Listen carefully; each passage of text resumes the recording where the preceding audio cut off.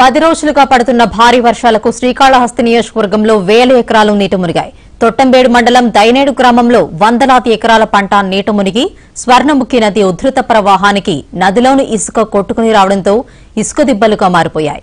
పంట పొలాలు ఎడారులను లోతైన గుంతలను తలపిస్తూ దర్శనమిస్తున్నాయి. రైతులు వేసిన వరి పంట నష్టపోవడమే కాక తమ పొలాలు ఇసుకతో నిండిపోయాయని పెద్ద పెద్ద గుంతలుగా మారాయని కన్నీరు మున్నీరుగా విలిపిస్తున్నారు. ముఖ్యమంత్రి ప్రాంతం మొత్తం ఏరియల్ సర్వే చేసినప్పటికీ ఇప్పటి వరకు ఏ ఒక్క అధికారి తమ ప్రాంతంలో నష్టపోయిన పంట పొలాలను పరిశీలించలేదని వాపోతున్నారు.